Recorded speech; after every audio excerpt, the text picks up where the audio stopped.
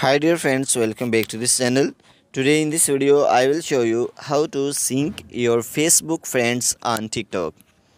Because sometime we want to sync our facebook friends to our tiktok account. So in this video i will show you how you can easily do it. So let's start. Firstly open the tiktok application.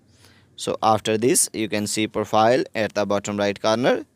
And then uh, click on three lines on the top right corner so after this click on account and uh, setting and privacy.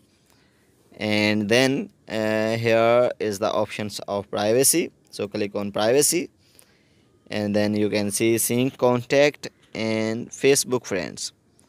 So here is the options of sync facebook friends. So uh, click on ok.